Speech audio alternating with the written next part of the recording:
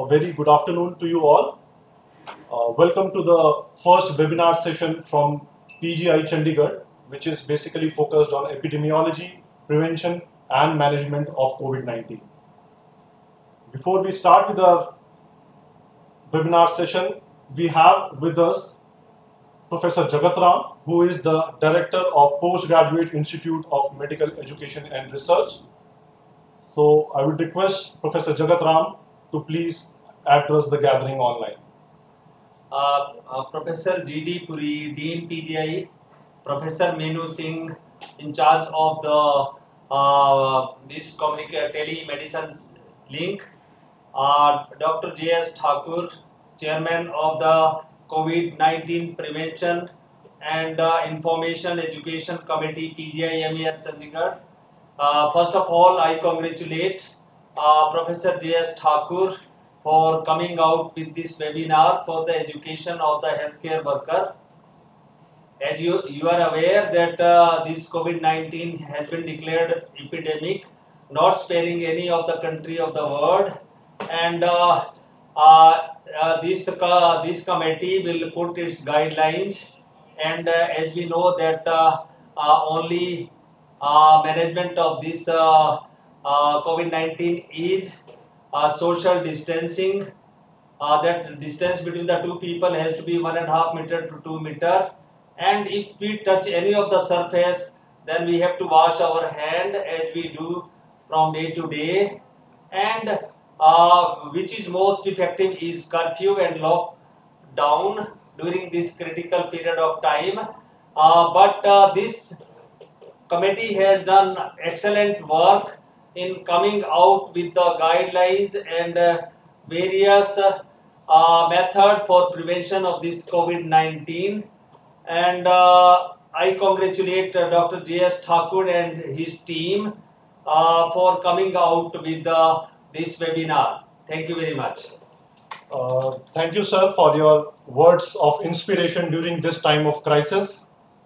Uh, may I now request uh, Professor G.D. Puri, the Dean Academic of PGI Chandigarh, to address the gathering. Namaskar. Thank you very much, uh, Professor Thakur and Professor Minu Singh for uh, organizing this activity, carrying on with the aims of Postgraduate Institute of Medical Education and Research. This is one of the, the mandate is to not only the train the, uh, the the doctors and the healthcare workers, but also the general public about what can be done to not only control this type of epidemics and pandemics, but also how can we contribute to upgrade the patient care activities being carried out by the different doctors and healthcare workers all over the country.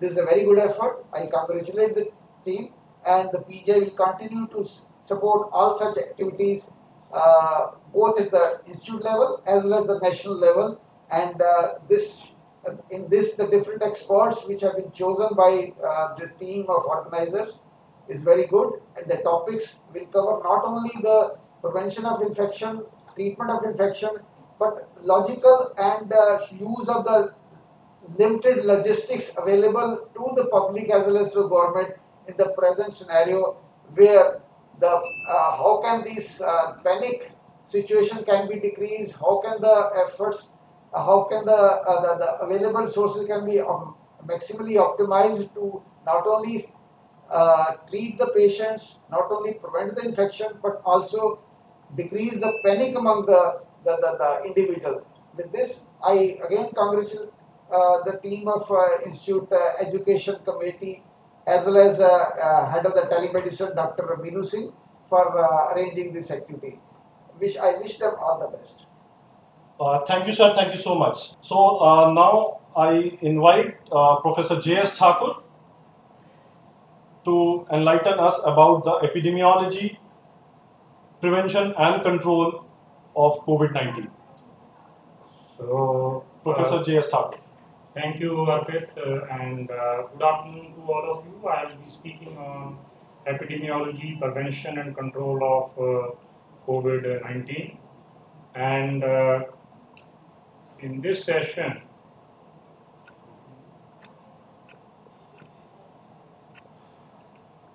I would like to take you to little bit uh, the background, the distribution of the cases, what is coronavirus, what is uh, mode of transmission, epidemiological factors, what are the case definition and what are the control and preventive and the control measures. We are all about we all know about the coronavirus uh, disease and uh, we know that uh, in December 2019 a pneumonia outbreak was reported in Wuhan, China. And on 31st December the outbreak was traced to a novel strain of coronavirus which was given the interim name of 2019 nCoV coronavirus by the uh, committee.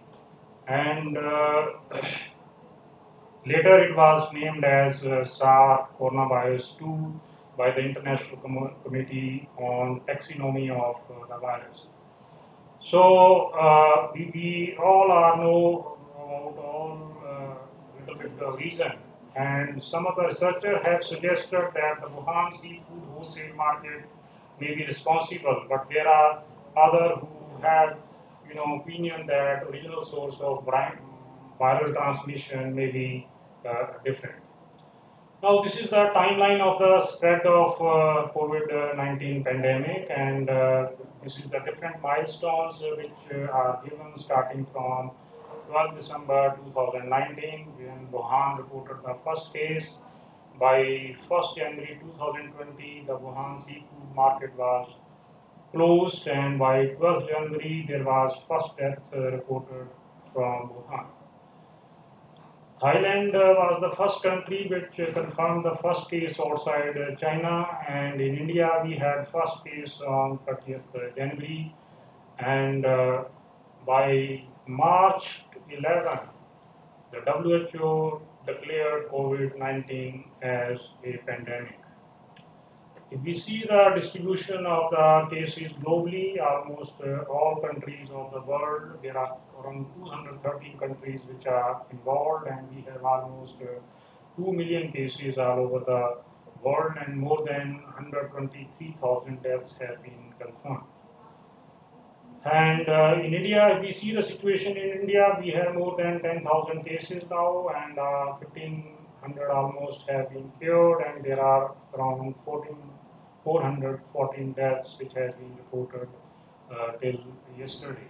And if we see the states in India, the distribution is quite variable. Maharashtra is at uh, top, followed by the Delhi, Tamil Nadu, Rajasthan, Madhya Pradesh, Telangana, Uttar Pradesh, Gujarat. These are some of the states which are affected more as compared to.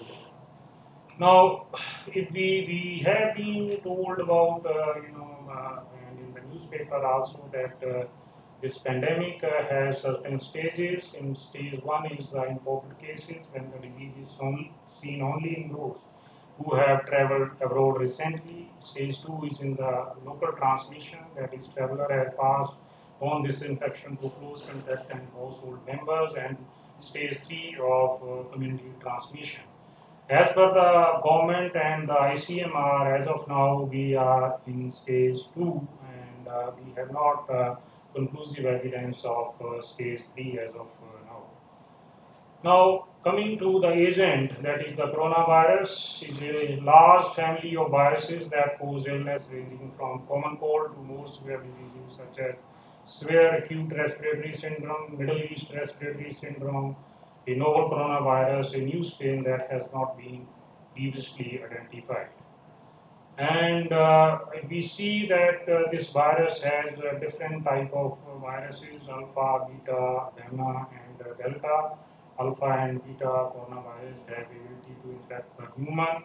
And uh, basically the cycle which we are seeing is basically the conjunction of the infected uh, animals and uh, passing on to the different intermediate host and then finally from human and we are now seeing that transmission.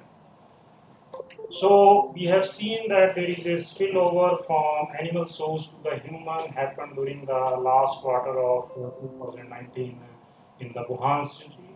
And uh, this Wuhan strain has been identified as a new strain of uh, beta coronavirus from the group 2B with approximately 70% uh, genetic uh, similarity The virus has a 96% similarity to the bat coronavirus, and uh, uh, most likely ecological reservoir for uh, this virus has been identified are bats, but it is believed that virus jumped from the species barrier to the human from another intermediate animal host.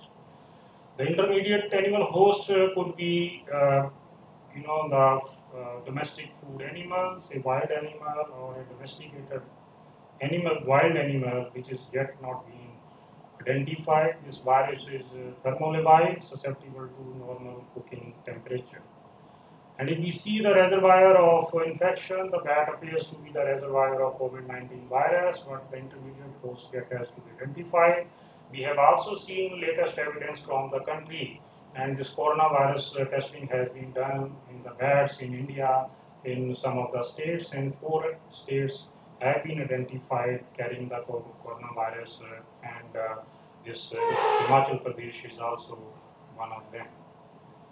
And if we see the uh, mode of transmission of uh, coronavirus, we see that from primary host it uh, goes to the human host, to intermediate host, or the direct contact. And whenever there is an infected individual, they by coughing, they, these droplets and these droplets can be transmitted directly to the susceptible individual through a direct contact or maybe through indirect contacts like fomites, surfaces, and other things. We also need to know that uh, these droplets they do not uh, stay long or in the air, but these surfaces are also very important, and we need to know that how long does the coronavirus survive on different surfaces. It has been found that uh, on metal it is for 5 days, wood it is 4 days, on paper 4 to 5 days, on plastic 4 to 9 days, and glass 4 days. So we can see that this virus can be on the surfaces of different things varying from 4 to 5 days. As far as the mode of transmission, that is symptomatic transmission, that is shedding of the virus uh, from the upper respiratory tract of a case then there is also pre-symptomatic transmission that is during the incubation period, that is before symptoms start, and that is very, very problematic that uh, for the people because uh, we may not be aware that uh, uh there is a transmission, and there is also asymptomatic transmission that is few reports of laboratory confirmed cases has also been reported. Now, coming to the average number of the people that one person with a virus, in fact, based on the reproductive number, so we have found that it is 2 to 2.5 and uh, it is almost uh, you know, similar to the other viruses like H1N1, SARS, MERS, and Ebola. Coming to the epidemiological factor, uh, the host factors are very important that this virus affects all the age, but uh, the older group and the people with chronic morbidities are more affected. And when we say chronic morbidities means non-communicable diseases like diabetes, heart disease, cancer, hypertension, chronic lung diseases, and uh, uh cancer, and affect uh, both the gender as well. Role of temperature and humidity is no clear as of now, and there are no suggested environmental factor as per the current available data. Now, who are at the risk? The people who have traveled to the other countries in the last 14 days, people coming from other states, if they have been working with the people who travel to the other countries, family members in context of the patient, people older than the 60 years of age, and people with the medical conditions like high blood pressure, heart problem, respiratory disease asthma, cancer, or diabetes. Incubation period ranges from 2 to 14 days, and most cases occur approximately 5 to days, 5 to 6 days after the exposure. And uh, in a case series, it has been found among 1,000 patients that it varies from 2 to 7 days.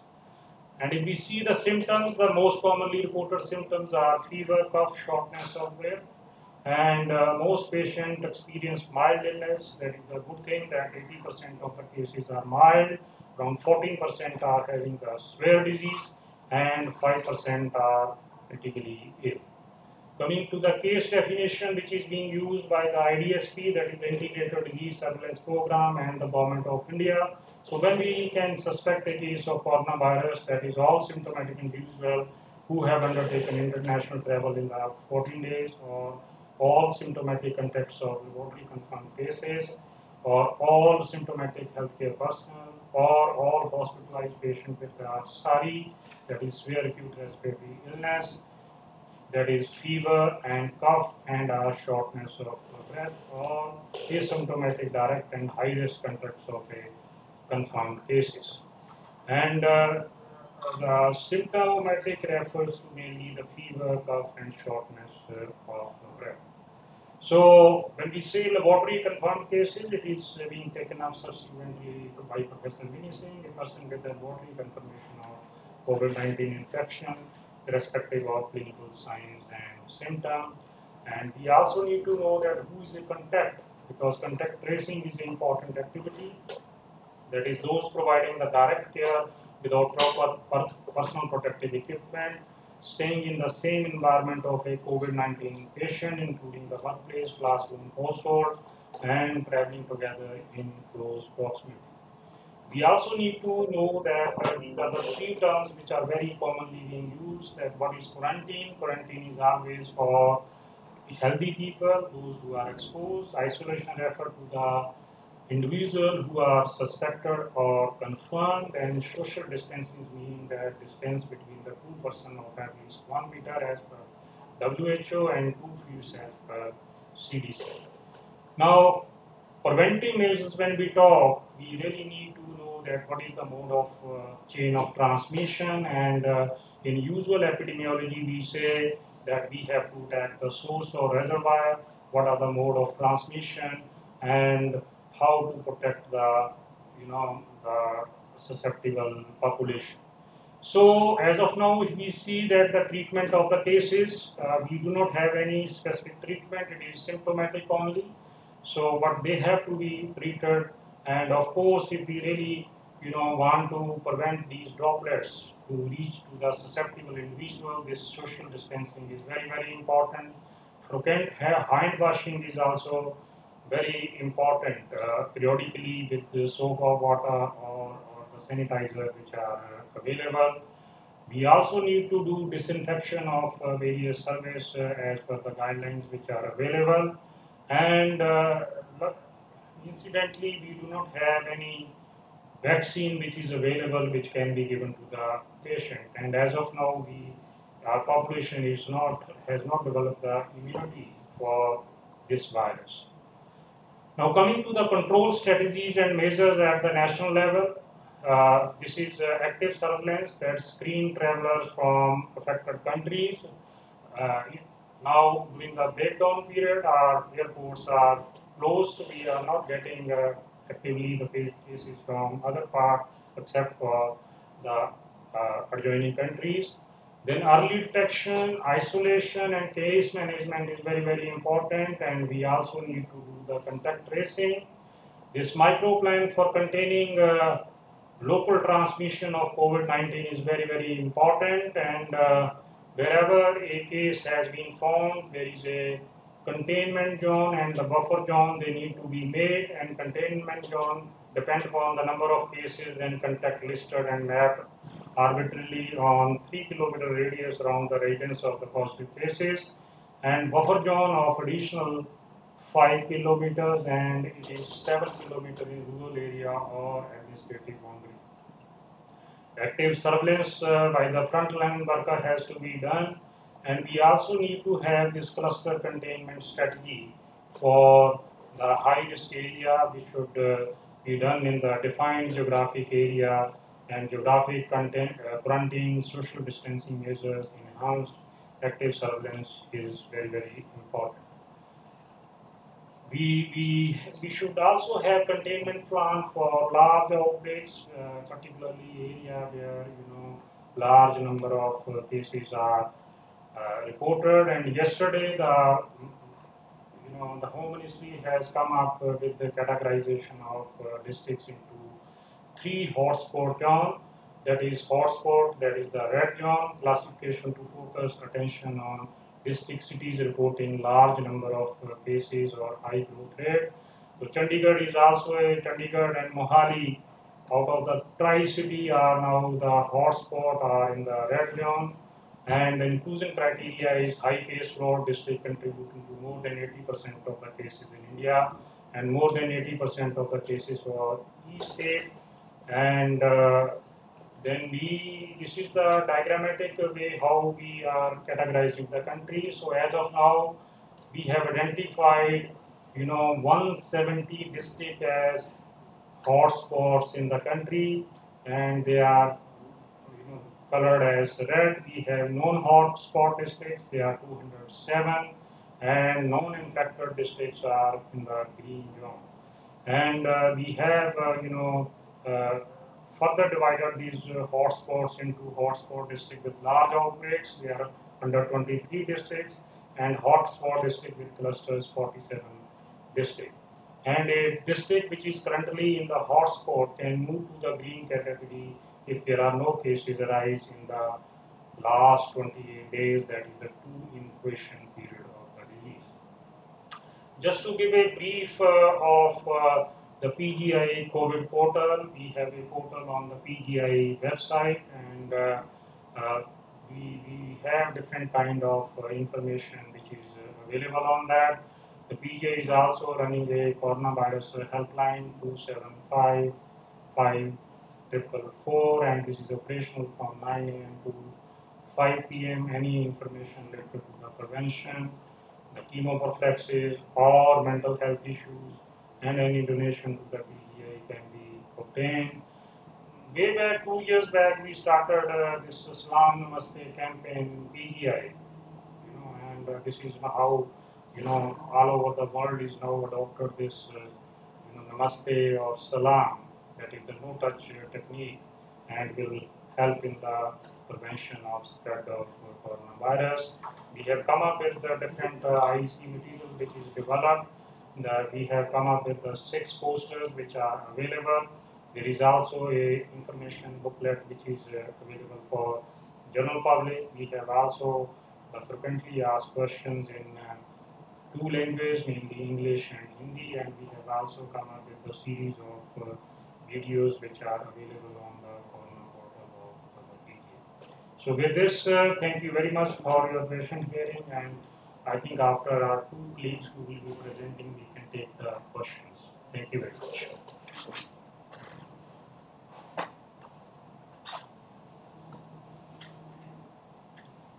Uh, well, uh, thank you very much, uh, Professor Thakur. And we will take the questions at the last, and you can very well type your questions and send them to us in the live chat, which is streaming on, on your web page. And before we proceed to our next speaker, Professor Mini Singh, uh, she will be talking about sample collection and laboratory analysis. Uh, she is a professor in Department of Virology at PGI Chandigarh. Uh, we will take you to Professor Mini Singh in a short while uh, meanwhile, you can very well type your questions. So we will be back in less than a minute. Thank you.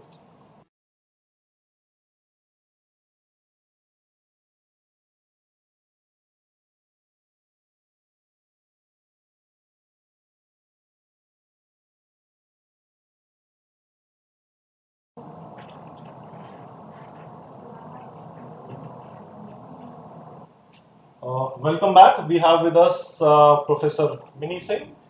All over to Professor Mini Singh now. A very good afternoon to all of you.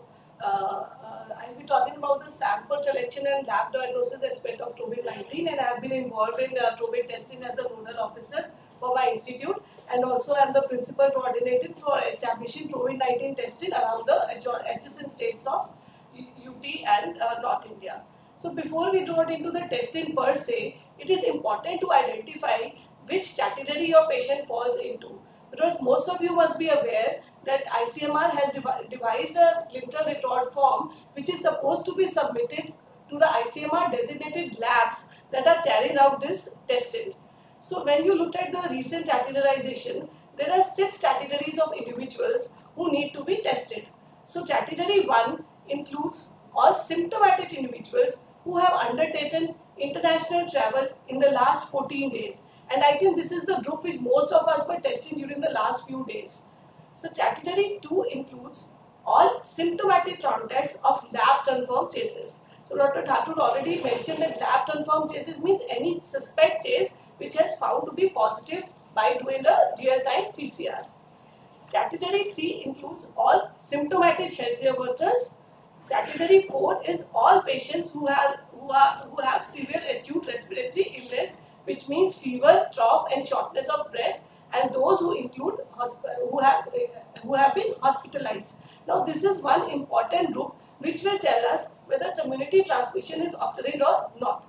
Category 5A includes all asymptomatic direct and high risk contacts of a confirmed case. This means that the family members and as per the recent guidelines, if you take only one sample between 5 to 14 days of these category 5A patients, it is sufficient to uh, say whether they are the suspect cases or a lab confirmed case.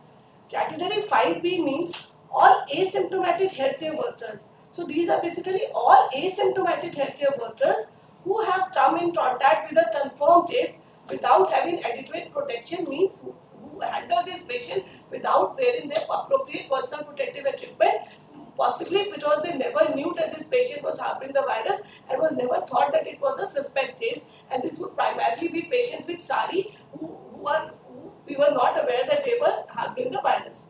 And recently this statutory SITS has been added. So uh, this statutory includes all symptomatic ILI patients. So this is the recent change which has occurred because previously we were not testing all symptomatic ILI cases. So ILI means fever, cough, sore throat and running nose. So these will also indicate whether the community transmission is occurring or not. That is why these categories have been added and now it is mandatory to test these people as well. So now uh, when we looked at the guidelines for sample collection, so the uh, sample appropriate sample collection uh, appropriate sample collection is very important to help you in lab diagnosis because if the samples are not collected properly, it will not give you the true, true picture of the results.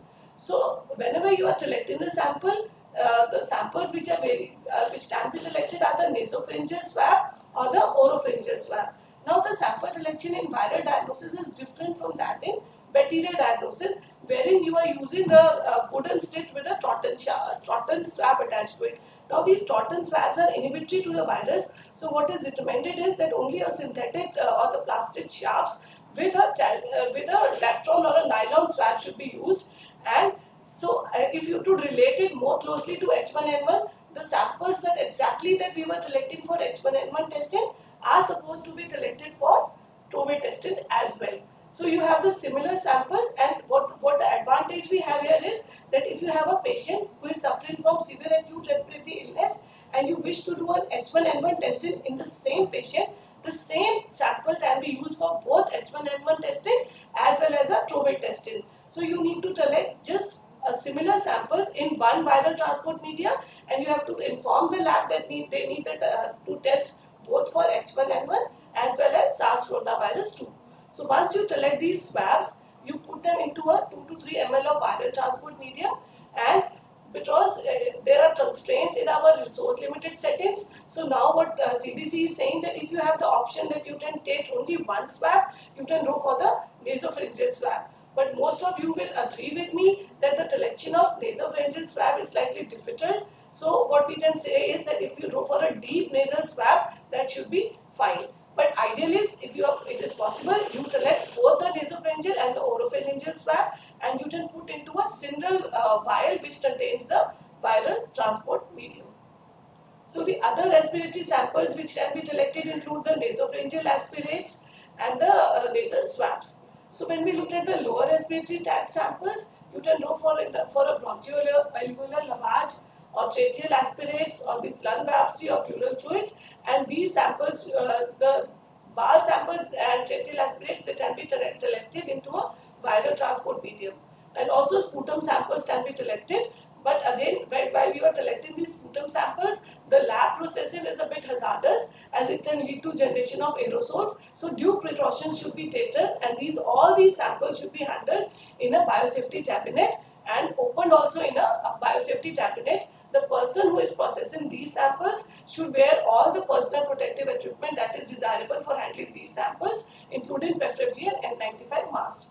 So the other question is how long these samples can be stored before they're actually tested. So you have to ensure that the transport from the peripheral sites to the lab occurs in a cold chain facilities similar to that used for OPV vaccine or like the way we store our ice, uh, uh our ice streams also. And so they can be stored at 2 to 8 degree for up to 72 hours after collection. But if there is any delay in testing beyond that, the specimen should be stored at minus 70 or below. For all respiratory viruses, please remember that minus 20 is not the right place for storage. So you either store at 2 to 8 degree for, for 3 days or beyond that you store it at minus 70 degrees uh, centigrade. So some of these aspects I have already discussed, the nasopharyngeal swab, the BAL samples, the tracheal aspirate, sputum, and then serum samples. Now uh, people are trying to develop the diagnostic test based on uh, these acute and convalescent samples. So it is recommended that if we can develop, uh, can uh, collect these samples, it would also be ideal to collect these samples from these patients. And uh, for blood samples, it is best to have them in yellow vacutainers with a gel, so there are no chances of lysis. And these samples should be stored again in minus, they can be stored in minus 20 or in, in minus 80 degree centigrade. So, uh, so what are the basic requirements for clinical sample collection and transport is? As uh, you are aware, this is the viral transport medium and the sample should be collected with, as I mentioned, with those uh, Dacron uh, swabs, uh, poly, uh, swabs and once you once you collect your once you collect your samples, then what you do is you have your both the swabs put in one viral transport media. Then you seal this vial, uh, this uh, VTM with this parafilm which is available so that there is no leakage. And thereafter, this uh, 15 ml uh, vial can be placed into a 50 ml uh, secondary container uh, so that again if you are transporting the samples to a lab which is situated at a long distance away, you wrap this VTM vial with a absorbable paper and put this vial into the 50 ml larger vial which acts as a secondary container. And your secondary container should be uh, uh, sturdy so that it, when it is dropped from a height also, it should not it should not break open. And once you have done packed into a secondary container, then along with these hard frozen gel pads, it goes into a cardboard box or this uh, container uh, or ice chamber, ice box and then it is transported to the lab for processing the samples. Now when you are transporting these samples, please ensure that the person, now what are, in practical sense we have, we have seen is that people coming from faraway labs and getting these samples, they come all the way wearing a complete PPE. Please remember it's the patient who is infectious and troughing closed samples in sealed vials do not trough, so they do not transmit the virus. So please have a risk assessment for your lab personnel or whoever is transporting the virus and the personal protective equipment should be worn as per the risk assessment. And uh, so the form, there is another uh, uh, hazard which is in this, that the form that is uh, sent along with these samples, it is best if you could attach it outside this uh, uh, transport container or outside this ice box and the person who is transporting this should then simply wear a pair of gloves and a triple layer mask. There is no need for this person to wear a complete PPE while he is coming to the lab to hand us over the samples. And it is best that the requisition forms for this patient, they are filled up in a different area than the place where the patient is sampled. So that there are decreased chances and there are absolutely no chances that fomite-borne transmission through that paper or the requisition form is occurring. So this I've already discussed. So while uh, taking the sample, all personal protective equipment which should be worn and the, like I was mentioning in this Ziploc pouch, you attach this requisition form on the outer side of the container. Please label it with the appropriate names. And most of the places where I see is that these samples are being transported and uh, in uh, dedicated ambulance and vehicles. That is a very good practice. Please ensure that appropriate disinfection of the ambulance or the vehicle which is used for transporting these samples is done uh, as, as per the norms and also it is important that the spill kit be available in those uh, ambulances where these are being transported. The spill kit will be handy, term handy if in any case after taking the due precautions also a spill uh, happens in that ambulance or the vehicle which is sterile and thereby prevent, prevent the uh, things can be taken care of at the moment. Now, when we come to the lab diagnosis, so whenever the samples are received in a lab, so the first part is the handling of the samples which has to be done as I mentioned in a dedicated biosafety cabinet because you have to be sure that your lab staff is not being exposed to the hazardous pathogens. So uh, the gold standard technique there is doing the real-time PCR. So now what, there are basically three, three steps which are involved here. First is the de sample decontamination. So what happens in the sample decontamination is that we add a lysis buffer into the sample which makes it non-infectious. So once this step is done, it is done in a dedicated biosafety cabinet and after that the sample, once it becomes non-infectious, it can be handled in a, uh, in a good lab practice as per the good lab practice in an ordinary lab, molecular lab setup. So after that the sample goes for RNA extraction followed by a real-time PCR. So when we talk of real-time PCR, there are two methods available. So one is a uniplex method and the other is a multiplex method.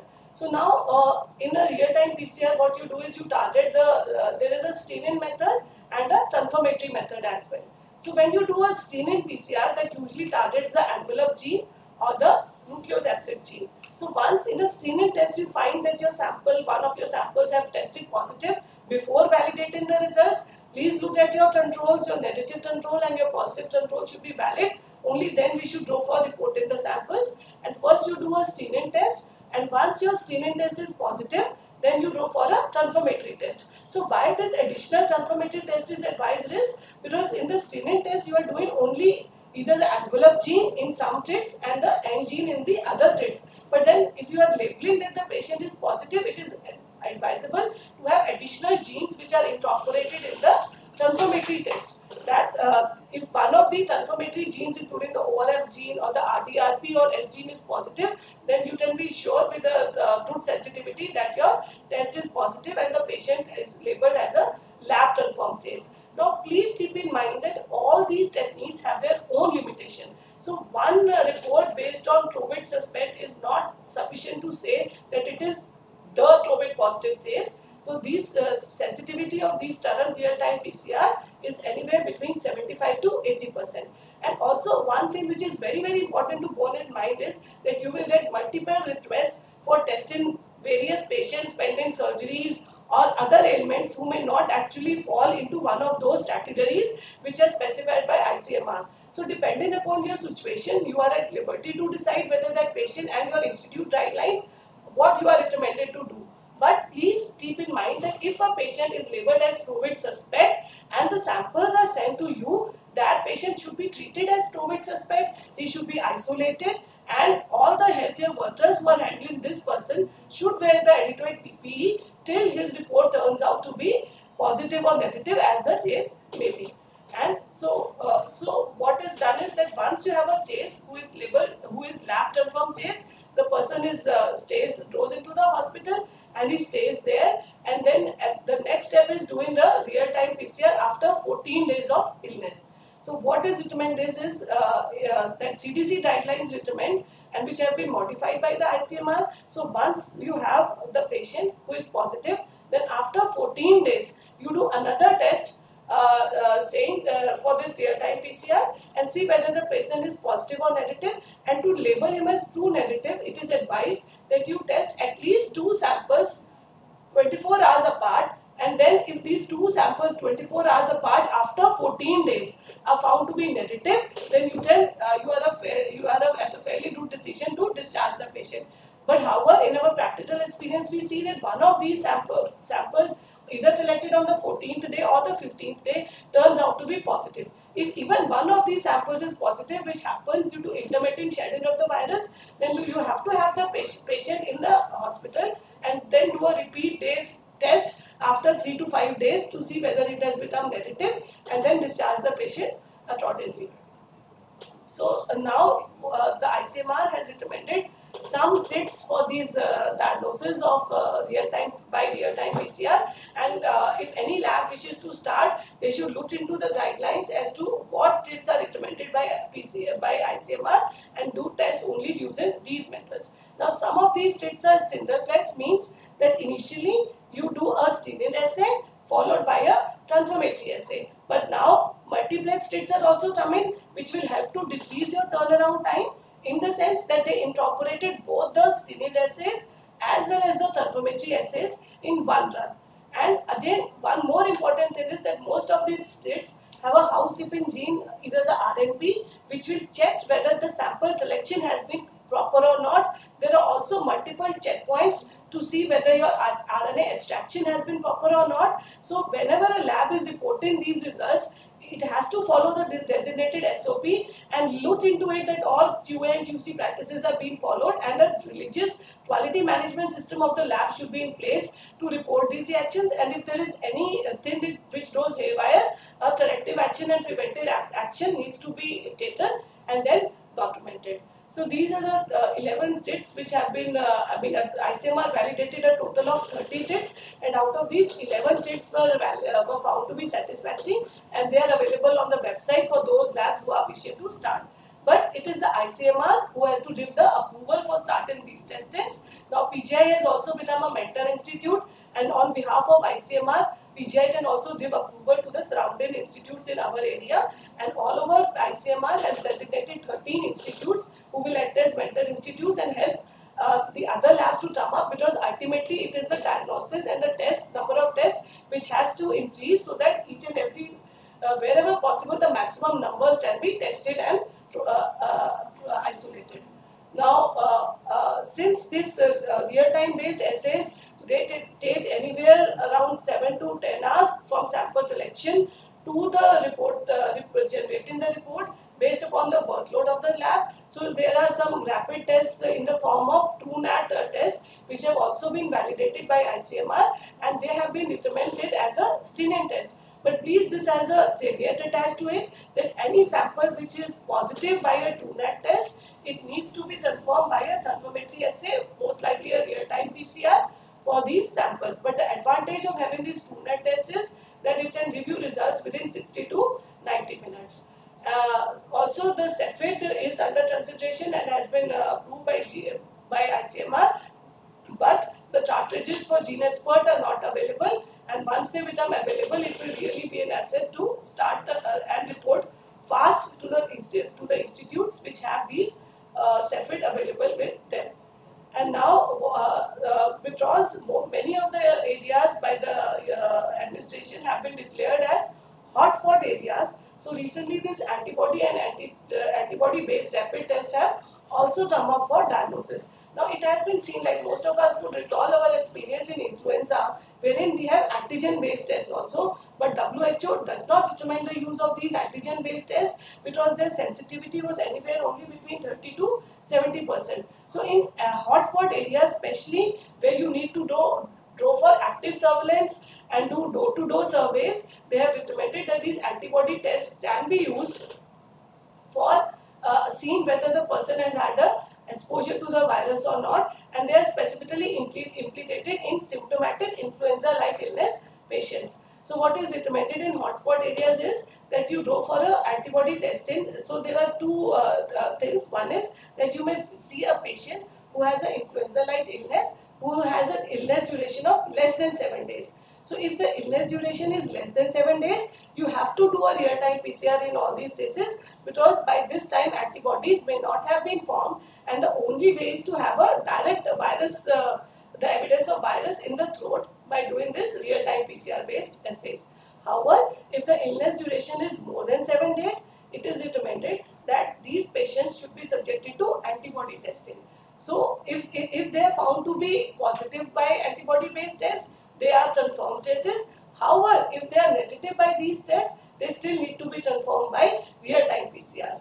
So this is uh, just a draft to show the uh, how the kinetics of this SARS coronavirus 2. So what happens is that uh, even an asymptomatic person, as uh, my previous speaker mentioned, they can shed the virus because the virus shedding starts early and it may continue. The peak shedding occurs around 10 to 14 days, whereafter again the virus uh, uh, shedding drops down by, the, by 28 days.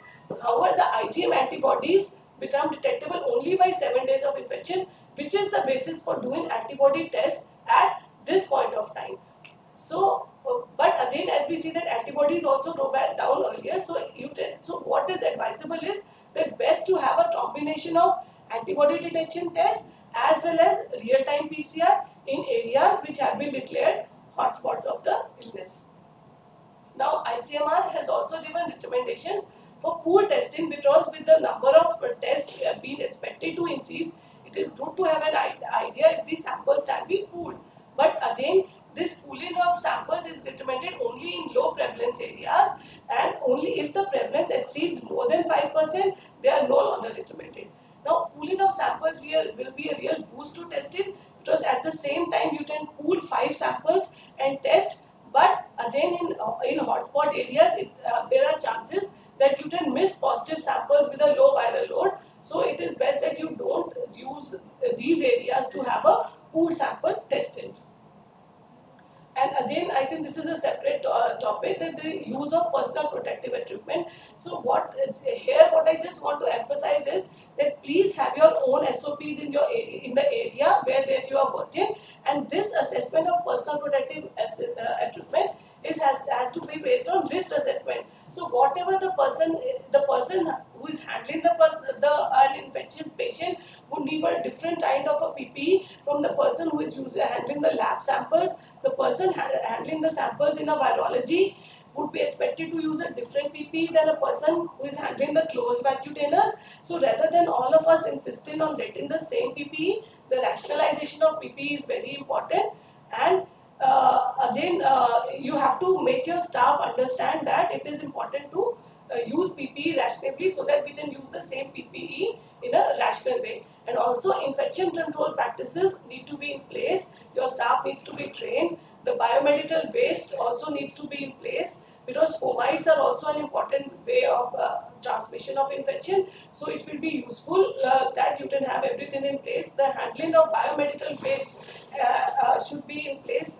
They should be labeled as COVID-19 uh, waste and wherever possible at source uh, decontamination is determined before the waste can be sent for incineration. So some points to remember is that PPE can include all different kind of things depending upon the place where you are working. But again, PPE should not give you a false sense of security that you are protected and so you should not tend to overlook the hand hygiene and respiratory etiquettes which are supposed to be followed at all times. Social distancing will help a long way to flatten the curve of COVID-19 and the PP should be disposed of as per the norms which are currently available. And all the steps of hand hygiene should be religiously uh, followed whenever you are handling any patient or handling any infectious sample. Thank you very much. Uh, well, uh, thank you, Professor Mini Singh, for such an informative presentation. Uh, to all our audience, you can keep writing your questions and we will be shortly back with our next speaker, who is Professor Ashish Bhalla, a professor in Department of Internal Medicine at PGI Chandigarh, who will be talking about management of COVID-19. So we will be back in less than a minute.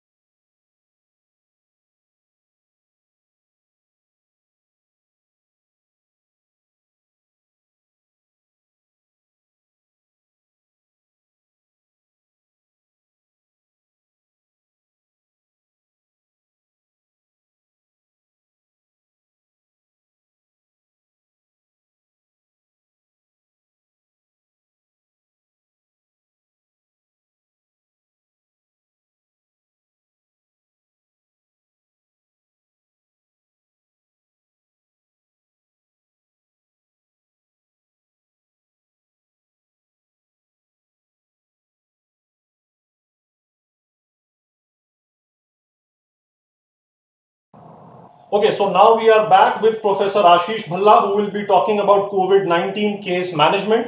All over to Professor Bhalla. Thank you. Uh, I'll be talking a little bit about uh, case management. Some of the slides might be repeated, so bear with me. Now the disclaimer is, here is that management is a rapidly evolving uh, field. These slides are based on recent Ministry of Health guidelines they may change in future, so you keep yourself updated. And uh, the best way to keep yourself updated is Ministry of Health website and not WhatsApp Gyan. So whatever is available on WhatsApp may or may not be true.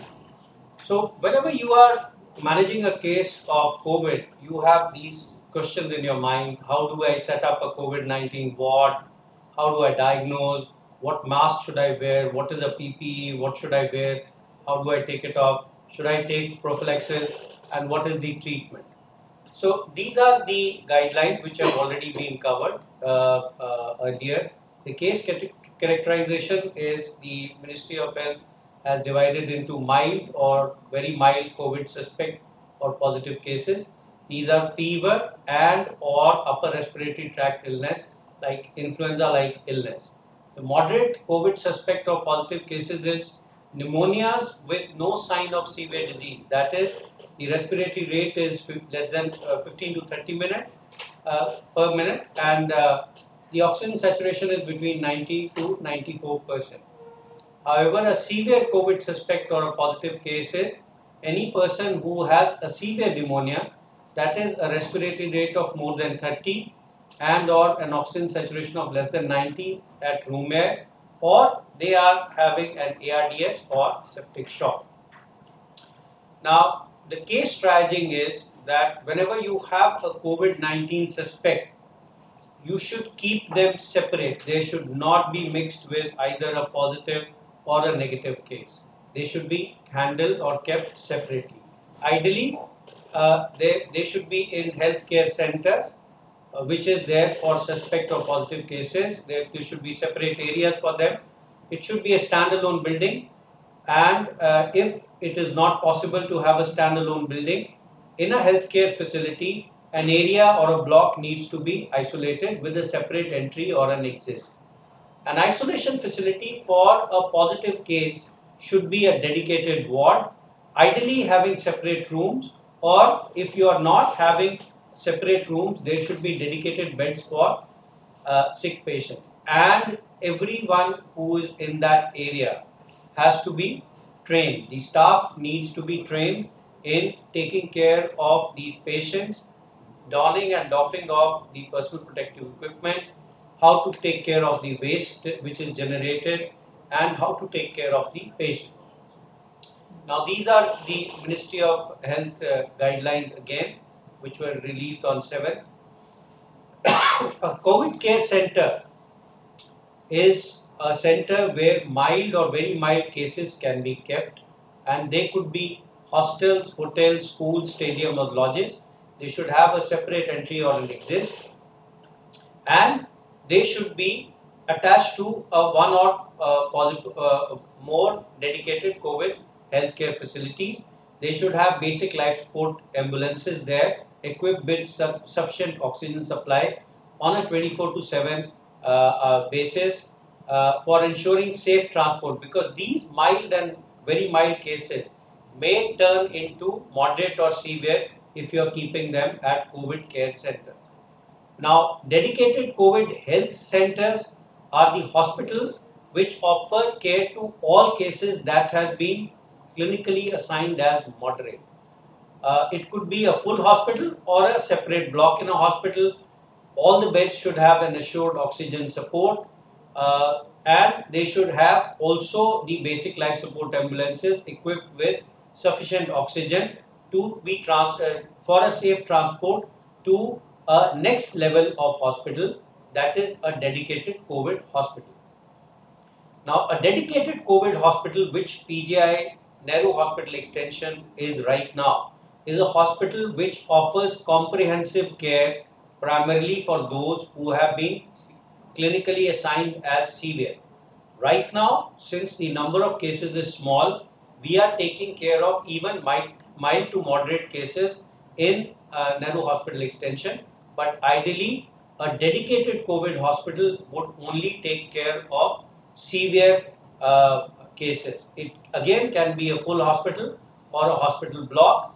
It has to be fully equipped with ICUs, ventilators, beds with assured oxygen support, should have a separate area for suspect and confirmed cases and they should not be allowed to mix at any given circumstances.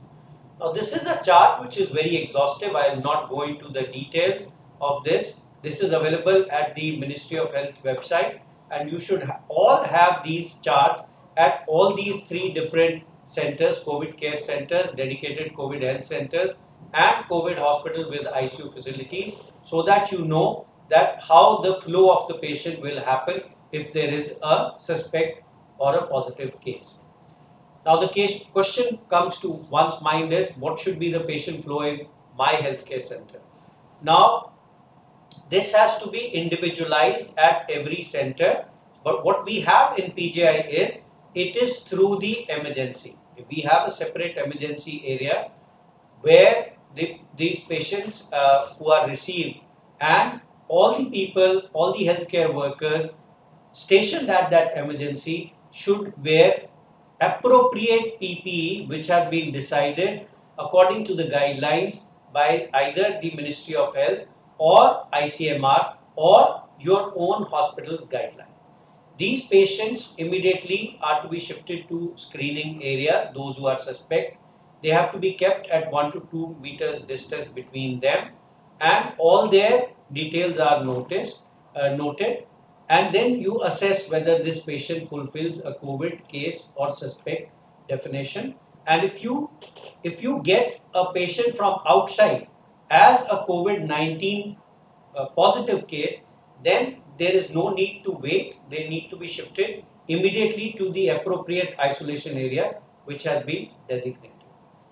Uh, if there is a COVID-19 suspect you can assess the severity by recording the vitals by putting the patient on a multi-channel uh, monitor that will give you the pulse, blood pressure and the oxygen saturation and then you can shift the patient to appropriate areas.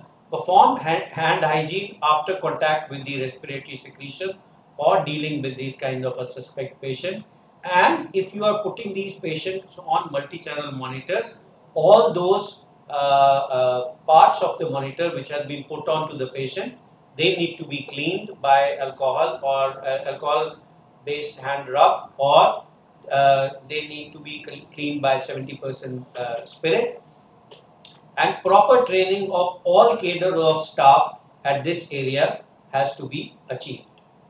Uh, the PPE which should be used would vary but you need to have shoe covers you have full body suit that is large enough to allow free movement and is fluid resistant. Now that is very important uh, because there are so many PPEs available in the market which are not fluid resistant. So anytime you are planning to procure a PPE, you need to check whether it is fluid resistant or not. In case you do not get a fluid resistant PPE, you can uh, use uh, uh another kind of PPE, but you can wear a plastic apron on it to make it fluid resistant. But you cannot cannot uh, Im improvise or uh, any kind of mask. You have to wear a goggle or a face shield, and you have to wear one to two pairs of gloves as you have decided in your uh, in your hospital uh, policy. Now you have to have a full PPE kit possibly a N95 mask in the areas where you are handling a suspect or a positive case and in the other areas where you are not handling a suspect or a positive case you may use a triple layer surgical mask also. Follow the correct procedure for wearing or removing the mask. It is an entirely different chapter in itself but uh, you should go to the website and see the videos or the uh, CDC guidelines how to wear or uh, uh, take off your personal protective equipment. A simple procedure which you can do after wearing a mask is to perform a fit test. Ensure that there are no gaps on either side of the mask and don't let the mask hanging from the neck. Change the mask after 6 hours or as soon as they are wet proper disposal of these wet masks is also very, very important. In a hospital, you identify the infectious waste disposal bag or a container where they have to be uh, uh, where they have to be disposed. In a community, you can collect them in a in a in a uh, in a paper bag, and at the end of the day, you can either burn them or you can perform a deep burial. At home, you can dis disinfect the used mask by ordinary bleach solution or sodium hypochlorite solution and again can be disposed by either burning or deep burial. As with masks, more important is to learn the correct way of donning and doffing sequence in the PPE. These are the CDC uh, provided information uh, leaflets. They can be downloaded and they can be pasted in all the areas where uh, the hospital staff or healthcare workers are donning or doffing the uh, PPEs. Uh, management of a suspect case uh, in an isolation area, you have to correct throat swab or nasopharyngeal swab and you, the role of antibody testing has already been discussed. You have to send routine investigation and I'm going to discuss the clinical case management, discharge policy and the dead body disposal. This has already been covered. They have to be packed in triple layer container. There are various kinds of uh, screening and confirmatory assays and you have the antibody test which has already been elucidated earlier. This is a strategy for use of rapid antibody based blood test. This can be kept or this can again be uh, printed and uh, pasted in the area where you are performing the testing or the uh, uh testing for the suspect or the positive cases. The routine investigations which are needed in a patient who is COVID suspect or COVID positive. The basics, uh, basic aim is to keep the investigations at the minimum possible investigations. Why? Because if you are collecting the blood samples or the sputum samples and transferring them to the lab, you are potentially exposing all the labs to the uh, danger of aerosol generation and uh, uh exposure to the workers who are working in their lab. So keep the investigation bare minimum. A dedicated portable X-ray machine is something which would be needed at the areas where you are having the suspect or the positive cases. cases.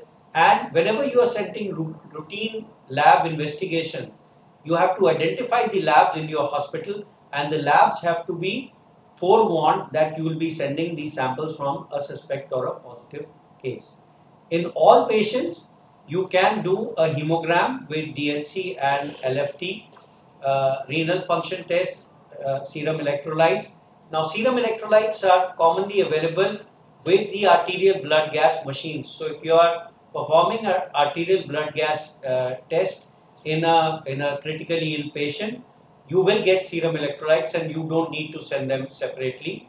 Blood sugar can be performed by capillary test at the bedside, so you don't need to send the uh, samples to the lab.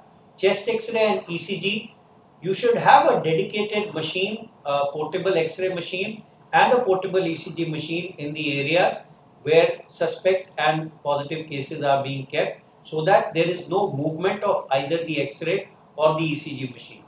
The additional uh, tests which can be ordered are CRP, serum ferritin because they can tell you about the acute uh, uh, inflammatory condition and can forewarn you for the cytokine storm. You can do a D-dimer or procalcitonin which will tell you about the secondary infection. CPK or TROPI can be used uh, for the myocarditis and you can also use a point of care uh, ultrasonography for managing sepsis and uh, shock in these patients.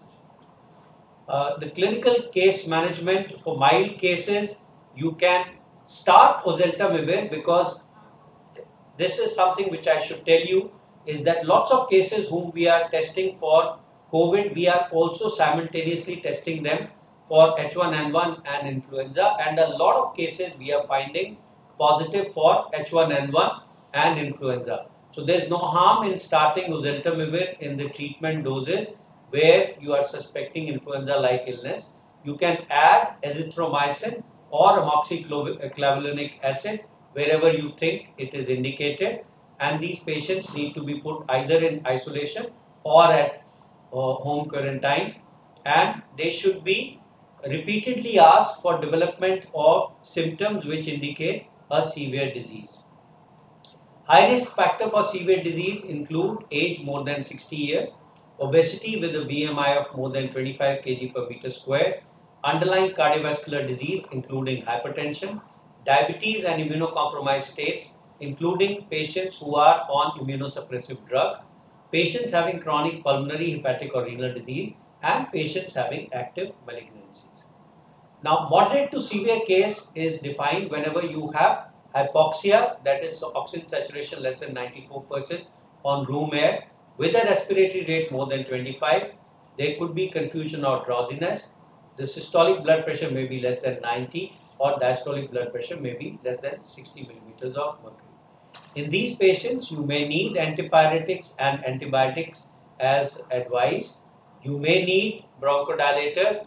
You prefer giving them meter dose inhaler over nebulization because nebulization will generate a lot of aerosol which will expose all the healthcare workers to aerosol, uh, uh, this aerosol from the COVID patients. You, if you have a high risk of influenza, you may add oseltamivir. Now, hydroxychloroquine, this is a protocol which we are following at PGI and we are using it along with azithromycin in patients with uh, severe cases.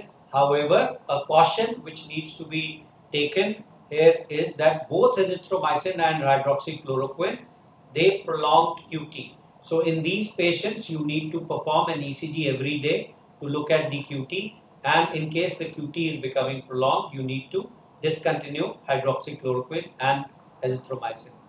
Uh, lopinavir and ritonavir you can decide may be considered and you have to identify cytokine storm although there is no definitive evidence to suggest lopinavir or ritonavir which uh, uh, and its efficacy in severe disease. Absolute contraindication to hydroxychloroquine is if the QTC is more than 500 millisecond. Uh, if the QTC in male is up to 460 to 470 in female, you can start hydroxychloroquine. But if there is an increase of QTC more than 60 millisecond from baseline, you need to stop them. Uh, if your patient is having myasthenia gravis, porphyria, G6PD deficiency, proven, or retinal or macular damage, or age is less than 15 years, you may not start hydroxychloroquine.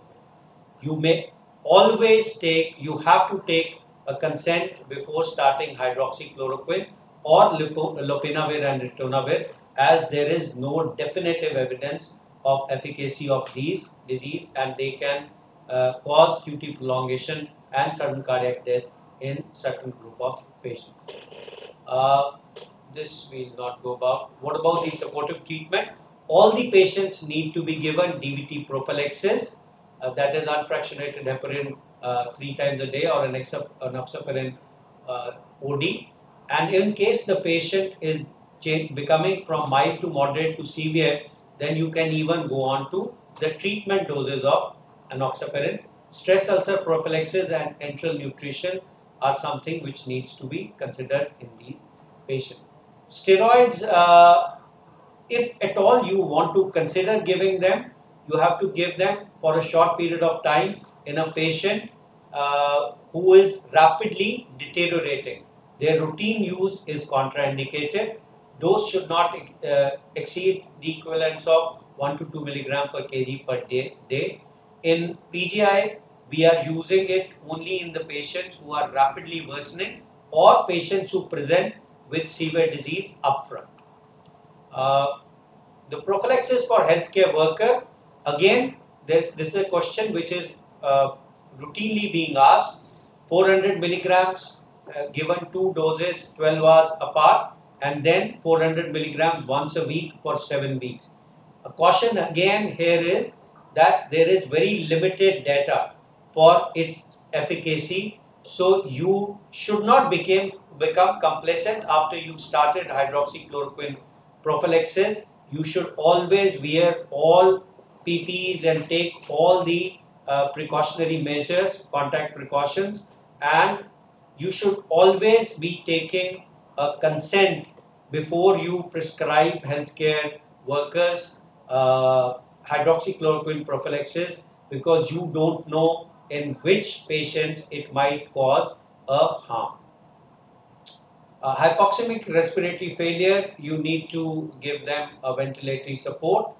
Whenever a person is having a respiratory distress, uh, you can start high flow nasal cannula oxygen and in case the patient is worsening or not improving in 1 to 2 hours time, tracheal intubation is something which should be done. NIV use should be discouraged because it generates lots of aerosols and you should always avoid, avoid nebulization. Now, what is recommended is prone ventilation or even awake prone, uh, awake proning in a patient who is not able to maintain on high flow nasal oxygen. That is what we are uh, we are propagating.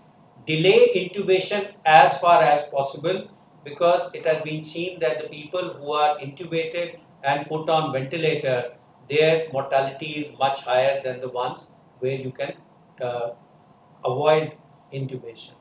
Uh, discharge policy at day 14, this we already discussed, a throat swab or a nasopharyngeal swab. If two tests which are negative taken 24 hours apart and there is a normal chest x-ray, then the patient can be discharged. Environmental infection control has to be done by using standard hospital detergent or disinfectant most important of them is freshly prepared 1% sodium hypochlorite solution. Housekeeping services can be divided into two groups, those with minimum hand contacts that is floor and ceiling and high touch surface where there is frequent hand contacts. And the important ones are doorknob, bed rail, light switches, the lift switches, the uh, wall areas around uh, the toilet in the patient's room and the edges of the privacy curtain. Avoid privacy curtain as far as possible but if it is needed then you need to clean the edges. These are the various recommendations they are there from the Ministry of Health how to disinfect the BP cuffs, the stethoscopes, the thermometer and the trolleys and these are this is how the standard precautions which you need to take regarding disposal of the biomedical waste.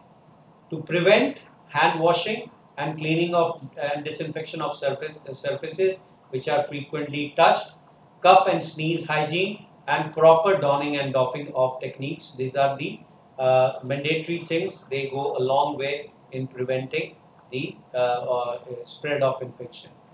Identify additional areas if the need arises. That is additional manpower and infra infrastructure.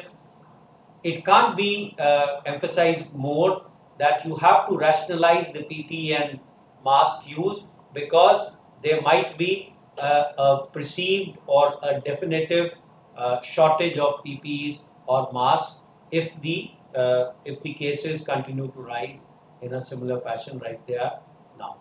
Uh, these are some things which can be posters which can be put all over the place just for education of the healthcare workers and the general public uh, itself.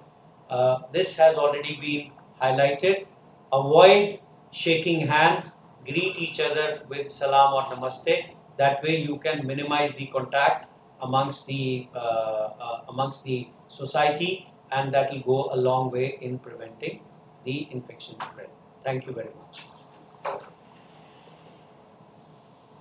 Uh, well, uh, thanks a lot, Professor Bhalla, for such an in-depth analysis on how to manage uh, COVID-19 patients.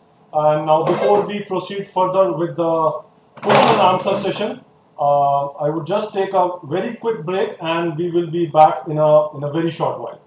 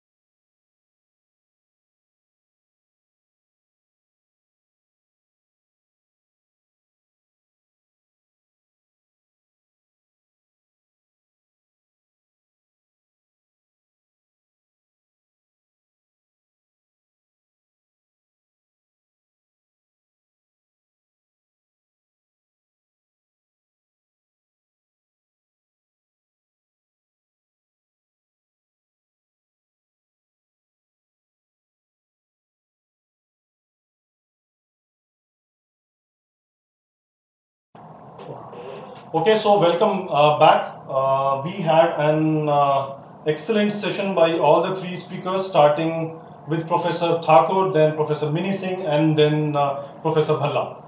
So now uh, we had an overwhelming response, and we had multiple questions all throughout the speakers. Uh, we were connected by almost 500 uh, audience online today, and we will try to take as many questions as possible. Uh, starting with the first one, uh, the question says uh, about the hotspots. Uh, Professor Thakur, you very well explained about the hotspots. Can you just uh, tell in brief for a, a layman or for a, a normal healthcare worker what does hotspot mean? Hotspot means the ministry has clearly given the guidelines for a hotspot. Hotspot means that there are cases of coronavirus which are positive in a specific area and you really need to have a containment plan which need to be implemented. So in this basically the plan is that there is a containment zone and there is a buffer zone. So this containment zone should be you know in the three kilometer radius as per the guidelines and uh, the buffer zone should be uh, in the area of uh, 5 kilometers and in rural area it is 7 kilometers. Now here uh, we need to undertake the active surveillance and also uh, you know the survey in the area where influenza like illness cases are to be identified by house to house survey and then they have to be subjected to the guidelines as per uh, Indian Council of uh, Medical Research. So if the symptoms are less than seven days, then RT-PCR has to be done, and if it is more than seven days, then we need to have the uh, rapid antibody test followed by if it is negative, then RT-PCR has to be done. And then we also need to, you know, those who are found positive, they have to be uh, admitted in a facility uh, that is uh, three type of facilities which has been uh, highlighted by Professor Bhalla and we have also to do the contact tracing. And eventually you know uh, these exit and the entry point to this area has to be guarded so that uh, so these are detailed guidelines which are already given. This is in brief uh, which need to be done for hot zone and in northern India, Chandigarh, Mohali, they are in the zone. Total 170 districts in the country, they have been classified as hot zone or red zone areas. Well, uh, thank you so much, uh, Professor Thakur. Uh, next question, uh, uh, Professor Bhalla, being an expert in internal medicine, uh, people are keen to know about loss of smell. How important is it as a, as a symptom? Yes, this is something which has come up very interestingly, our first case who came to us at PGI was a doctor from England. And uh, she was very uh, observant and she said that she definitely had a loss of smell and loss of taste. So that can be one of the uh, symptoms, but this is not found in uh, like 100% of the people. So very few people may be able to perceive, especially the ones who are working in the areas where there's a lot of uh, exposure to dust and a lot of exposure to strong smells, they may not be able to perceive this kind of a uh, this kind of a symptom. So that is something which is very very important. If somebody says that yes, I have a loss of smell and loss of taste, then you should be a little more careful. Uh, well, uh, thank you, Professor Bhalla. And uh, next question goes to Professor Mini Singh, uh, being an expert into virology and handling the COVID samples in lab. So, as we all know, I mean, no, there is no test which is 100% sensitive and 100% specific. And there are limitations to RT-PCR as well. So the question says, uh, is it related to the day of sample collection about the RT-PCR? And there is a continuation to this question uh, there could be, is there a chance of getting a false negative because of some kind of a mutation in the virus? Thank you. Uh, this is a very relevant question and that is why I showed the viral kinetics when I talked about the uh, uh RT-PCR. So we have to understand that every technique has its own limitations. And the question of false negativity, yes, the, this technique has around 75 to 80% sensitivity, so we may be missing out on some of the other cases. The other point was regarding the day of election. As I mentioned, that the maximum positivity is between uh, the first 14 days of uh, of, uh, of onset of symptoms. Thereafter, the PCR positivity can go, go down. So, if the samples are collected within that period of time, it's more likely that it is likely to be positive. and that is why we say that a single negative test does not rule out COVID infection. So, if you have a strong degree of suspicion, your patient tests negative on the first day or the third day where your sample has been detected, uh, has been collected and over a time if the patient deteriorates and you feel that he can be a COVID positive, it is advisable to have a repeat sample after 2 to 3 days and go for a repeat test if the situation strongly recommends that you have this test and your clinical suspicion is very high. Okay, uh, thank you ma'am. Uh, next question is uh, about reinfection in cured patients. So people are concerned now. I mean, you know, there are some cases which have come up where uh, patient was cured or apparently cured, and then he was found to be COVID positive again.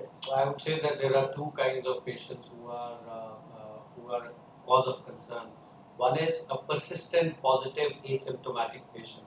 We're seeing now that people who have been tested on day 14 and even up to day 28, they've been asymptomatic and they are still positive.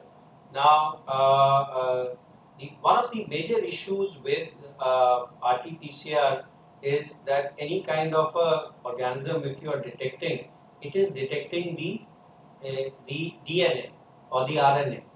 It is not detecting whether the virus is alive or dead. Now that's that's the problem with one of the things. But we take it that if you have a positive RT-PCR, in, uh, in, in these patients say that they are still positive and they continue to shed. So that is, uh, that is a cause of concern. And the second is a lot of cases from uh, South Korea and also from uh, uh, China have been reported that those who have uh, been cured have become symptomatic again and they are also becoming positive. That raises a very valid question that if the plasma therapy which we are kind of looking at saying that these antibodies in patients who have uh, uh, improved would be neutralizing or would be kind of uh, would be used as a cure may or may not be true because we are not very sure that these antibodies are protective. The second possibility could be that the virus has had some kind of a small or a a minor mutation, just like the influenza virus uh, keeps on having uh, mutation and causing a disease again in the patient, and there is no cross uh, kind of protection for minor uh, mutations. Uh, well, uh, thank you, sir. thank you so much. next question is about the workers who are handling the biomedical waste. So how susceptible are they, and are there some specific, uh, uh, you know, guidelines for them, or are there some specific precautions which they have to take? The workers who are employed in biomedical waste management. So we have now the biomedical waste management guidelines from Ministry, ICMR, and uh, I think Dr. Bhalla has also highlighted as well as Dr. Mini Singh. In PGI also we have uh, infection control guidelines, which are also available on our COVID portal. So they can be a very good uh, guidance, and those who are interested, they can go to our website and look into these guidelines. There are there are two ways of handling the biomedical waste. One is that you can, if, if it is possible, you can put it in a one hypochlorite solution, and then you know after that remove it and then uh, uh, kind of dispose it. But the problem with that is if you put it in a waste bag, there might be some dripping, and you don't know how much that is uh, uh, that is infective. That's point number one. The other option is that you can microwave or autoclave all the uh, waste which is coming from the uh, the area where these positive patients or suspect patients are being handled. Now that's a possibility, a very real possibility but it's an expensive option. So if you can do it, you should do it. Microwave or autoclave all the uh, uh, all the uh, uh, whatever the biomedical waste which comes out of the area where these positive or suspect cases are being held. Just, just to add to it, it is very important to train those attendants who will be handling this biomedical waste.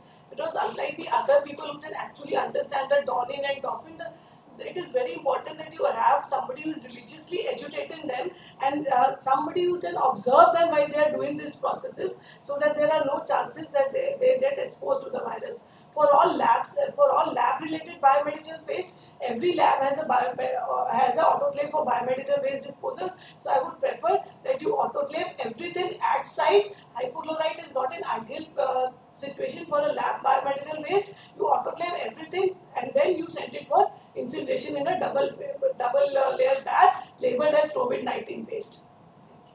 Uh, well, uh, thank you, ma'am. Uh, next question is uh, about the you know false negative patients. Um, now, how to minimize the chances of false positive, and if at all, now what to do next? I mean, if there is a clinical suspicion of COVID positive, but there is a laboratory false negative, maybe a false negative, we don't know. So, what to do next? What uh, this is a this is not a very unusual situation. What Mini has highlighted is that the sensitivity and specificity of RT-PCR has its own limitation. So there is a you have to use your clinical sense. If you have a very strong suspicion in a one in a particular patient and you get a negative report, you want to shift that patient from that suspect area obviously to the other area. Ideally, he should be shifted to an area which is an isolated area where such patients can be managed. And the workers who are taking care of these so-called negative patients should also be using proper personal protective equipment. In case this patient deteriorates clinically, then there is an indication that you may repeat the test and then follow all the uh, protocols whatever are to be followed for a positive patient. However, if you take if you if you've got uh, uh, two tests which are negative, which are 72 hours apart, the possibility of this patient being a positive or a false negative patient uh, decreases very very significantly. I would just like to add that most of you would uh, agree with me that in dengue, when we had this NS1 antigen detection uh, test come up, it was seen that antigen detection and uh, viral load testing is important in the early part of illness, while in the later part of illness, it is the antibody detection. So, if you have these combination of tests to be done together, it would really help to sort out if you are missing, if you are having some false negatives also. Plus, if uh, usually there is a no problem of false positivity because these tests are all Taqman primer probe based tests, so false positivity does not arise. So, a combination of tests depending upon the duration of illness would help you to clarify the picture.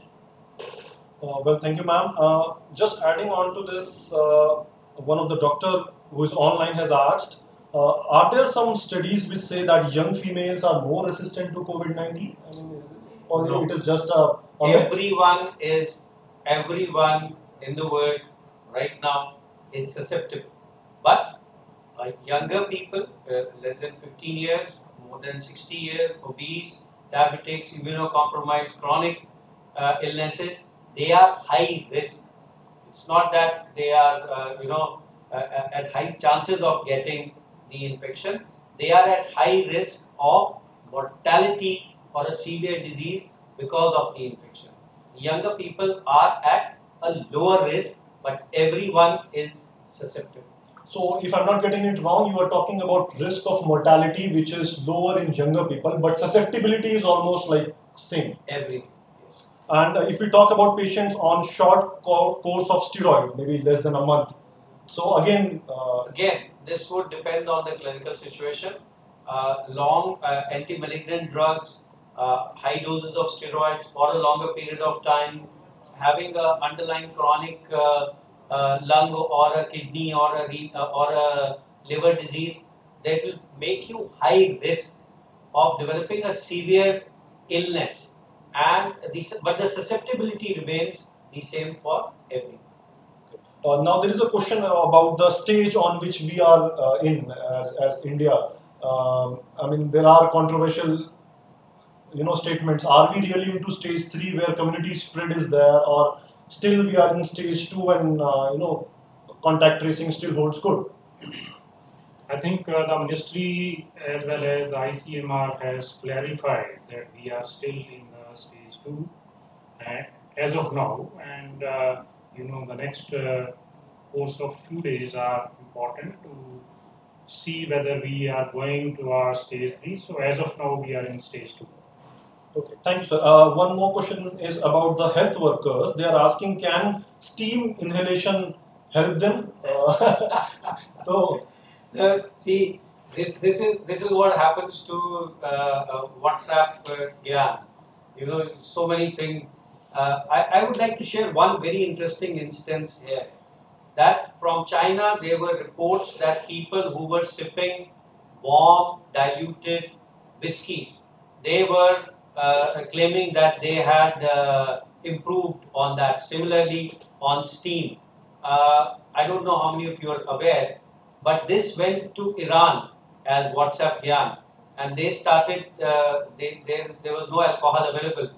They started making their own alcohol. Then at least 380 people have died because of spurious alcohol ingestion. So, whatever is available on WhatsApp or on Facebook or any social media, please take it with a pinch of salt. Think about it. Yes, steam inhalation, warm water sipping, honey and ginger concoction will soothe your throat. Whether they do anything to the virus in your body is questionable. Uh, well, we are coming on to the last question because we are uh, really overshooting the time, and uh, it is about uh, the use of air conditions or some guidelines on temperature and humidity at COVID hospital hospitals. I mean, uh, uh, do we recommend use of ACs because temperature is shooting up now, or still we have less number of researchers on we, this? we, we still don't know. But one thing is very clear that if you are keeping the uh, suspect and the confirmed case in one particular building where there is a centralized air conditioning system, then you have to be working very carefully with the air handling unit of that area. That air handling unit where you are keeping the suspect or the confirmed cases or the ICU patient that has to be separated from the general uh, uh, you know building air condition. And if possible you need to have HEPA filters or at, least electrostatic filters to take care of the air which is coming out of these air handling units. Because that's that's very very important. Centralized air conditioning units uh, should be avoided as far as possible. Windows ACs can still be used, but uh, the data on this is very, very limited. It's just, uh, uh, it's very, very limited. It's just common sense, which tells you that if you have a viral illness, you should avoid using centralized air conditioning systems. And if there is an aerosol generated at one particular area, you should be able to or you should try to contain it as much as possible. Uh, well, thank you so much. With this, uh, we have come to an end of this first webinar of the webinar series by PGI Chandigarh. Uh, I thank the esteemed experts of the day, Professor Thakur, Professor Bhalla, and Professor Mini Singh for their presence and all the audience who have joined us from across the country. We had an overwhelming session with almost 500 people joining us today. And you can keep posting us keep sending us our questions. Uh, maybe you can try calling the pgi helpline. The helpline number is being flashed on your tv screens.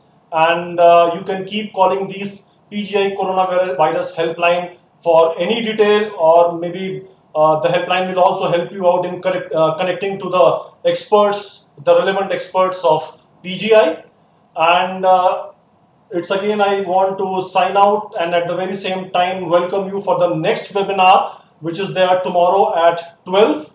Uh, it is for the nursing officers and primarily focusing on pathogenesis of COVID-19. So with this, I want to thank each one of you. Thank you so much. Jai.